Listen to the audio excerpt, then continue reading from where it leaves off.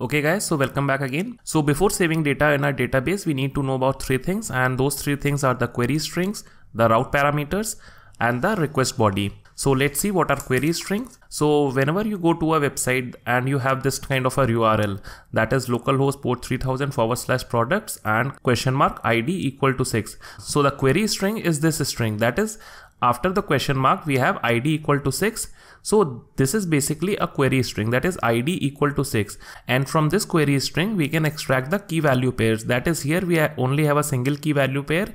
That is id equal to 6 so basically this kind of a url is a url with the query string included in the url and now let's see what are route parameters. So let's suppose we go to this route here that is localhost port 3000 forward slash products and forward slash 6. So if we want, we can extract this 6.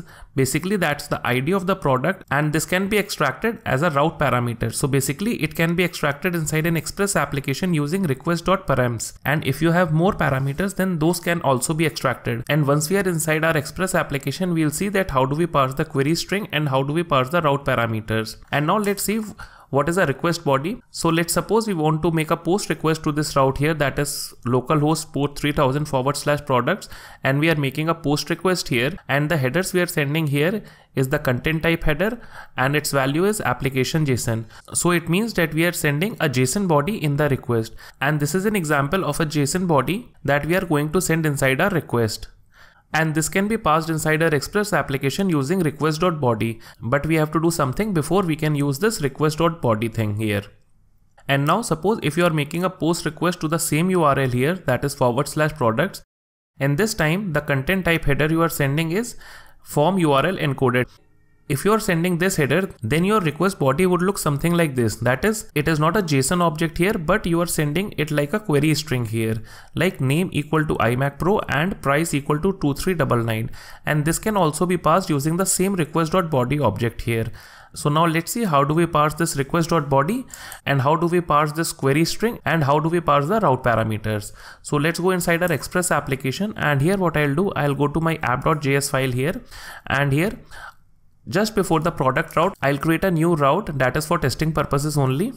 So I'll say app.all and basically this all means it is a wildcard for all the HTTP verbs that are get, post, put, patch and delete are all handled by this route here.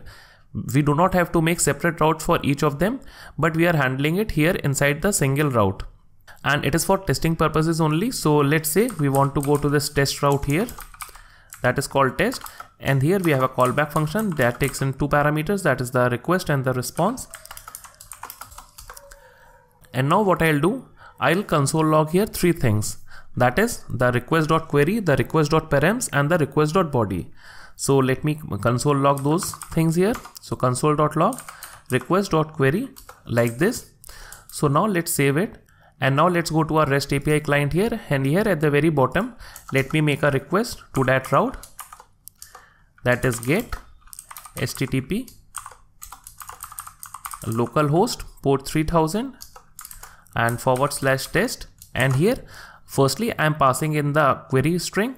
And the query string would be name equal to iMac and price equal to 2399 so if we save this and if we go to our app.js file here and after logging in the query here what we want to do we want to send back the query itself. So we can simply say response.send request.query like this. And now let's save it. And now let's go to our rest client back again.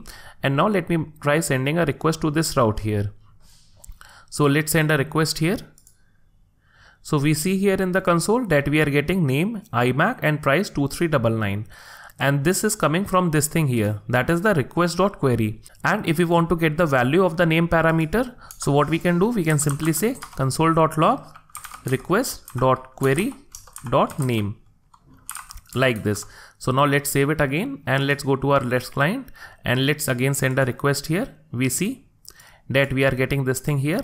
Firstly we are logging in the query that is the name iMac and price 2399 and we are logging in the value of the name parameter that is this property here. So this is how basically query strings works. So now let's send another request to the same route that is this route forward slash test and this time we would be passing in the route parameters. So let's copy this thing from here and let's paste it here and instead of uh, passing in the query string we delete the query string and here we pass in something like we pass in some id and just think that this is an id of something and we want to get this id inside our application. That is this uh, that is the id starting with 87 and ending with 34 so let's see how do we get that. So let's go to our app.js file and let me comment out this thing from here. And after the test thing here we are getting something and let's call it id and we have to put a colon before id and if we can see that this route that is forward slash test, forward slash colon id is kind of matching this thing here. That is this route here here. That is forward slash test and forward slash some id so what we can do how do we get this id inside our application? It is very simple to do. We can access the request.parameters here. So we can simply log it inside our console. So console.log and here we can say request.params not the param but the params and if we save this application and let's also send the response back. So response.send and we are sending the same params back. So request.params like this. So let's save it. And now let's make a request to this route here. So let's send it. So we see we are getting this thing here. That is id is this thing here that is the id this thing here and this key that is the id is coming from this id here. Because we have provided the key here and the value is coming from the client side here. If you want to pass in more parameters it is very simple. You can simply put forward slash and then the key name here and the key is the name here and then inside our rest client what we can do we can send in a name here like imac so firstly let's save our app.js file. And now let's go here. And now let's make a send request here. So let's send a request here. So we see that we are parsing all the route parameters. That are that is the id that is this id and the name is imac this. And these keys that is the id and name is coming from this thing here. That is we have provided in the keys here. That is the id and the name. So this is how you parse query strings and route parameters. So now let's see how do we parse the request body that is coming from the client side. So let's make a post request here for sending in a request body. So we can say post and we are going to make the post request to the same URL that is the test URL like this and here we would be sending in the header that is the request header so request header would be content type and because we want to send in JSON type so we can say application JSON like this and then we can send in a request body and our request body would be name. Name would be iMac Pro like this. And the price and this is all JSON price would be to uh, 4999 like this. So now let's save it. And now let's go to our app.js file. Now let me comment out this thing from here. And let me also remove this thing from here because we want to make a post request to this forward slash test route. So now let me log in the request body. So console log request dot body like this. And we also want to send a response. So let's uh, send this request body as the response itself. So response dot send would be the request dot body like this. So now let's save it and now let's go to our REST client here and now let's send a request. So let's send a request here and we see that we are not getting anything back. And moreover we are not able to log anything inside our console. Because to use this request.body we have to use a middleware. So what we can do we can go at the very top of our application.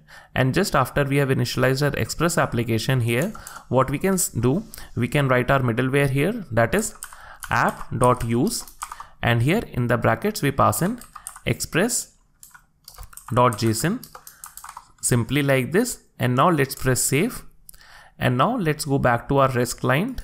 And now let's try sending the request and let's see if we are able to parse the request body. So let's send a request. So we see that we are able to parse the request body and we are also getting the request body back here in the response. So this is how you parse the request body. And moreover, we are only parsing the request body that has a header of content type of application JSON as we are sending this header here that is application JSON. But what if, if we want to send in a request body that has a content type of URL encoded form body. So let's copy it and let's make another type of request here that is a content type header of application form URL encoded like this and then the form URL encoded body is written like this. So name equal to iMac and price equal to 4999 so now let's save it and now let's send a request. So we see here that we are getting here an empty body and the response is also empty because this express application is not able to parse this type of request. That has a content type of application www form URL encoded. And now to parse this type of body that is this type of body with the header of form URL encoded what we need to do just after this line that is app.use express.json we need to set another middleware and that middleware is called app.use express.url encoded. And here in the brackets we need to pass in options and that option should contain one value only and that is extended to be true and why we pass this extended to be true? That is to make this url encoded form body to work like json. So let's save this application and now let's go back to our rest client and if we make a send request here we see that now we are able to parse this request body. That is this type of request body that is called a form url encoded form body. So guys, now you know what are query strings, what is a route parameter and how do you parse the request body. So in the next video, we'll be creating our first product and we'll be saving it to our MongoDB. So till then, have a good time.